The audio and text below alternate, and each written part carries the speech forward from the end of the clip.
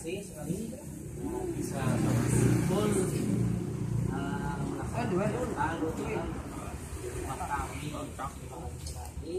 Dan uh, selanjutnya salat salat salawat serta salam selalu kita berikan kepada baginda Nabi kita. Nabi Agung Muhammad Sallallahu alaihi wasallam. Yang membawa umatnya dari zaman jahiliyah menuju zaman sekarang.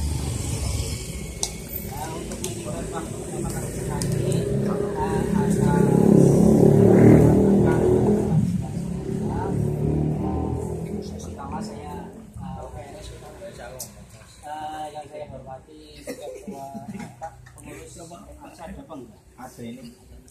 saya hormati pengurus PAC ranting Ibnu Sampang.